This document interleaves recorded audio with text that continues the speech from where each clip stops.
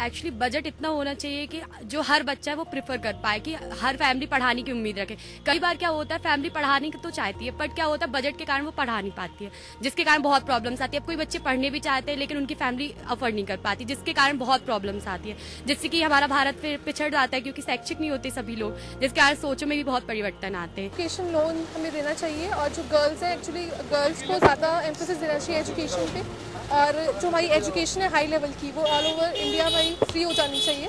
और जो और भी फैसिलिटीज़ हैं, जो पेरेंट्स आजकल गर्ल्स को नहीं पढ़ा रहे जिनकी वजह से, वो प्रमोट करना चाहिए गवर्नमेंट को। सरकार को तो पहले खैर स्टूडेंट के बारे में ज़्यादा सोचनी चाहिए क्योंकि अनएम्प्लॉयमेंट और इतना बेरोज़गारी वगैरह ये सब है।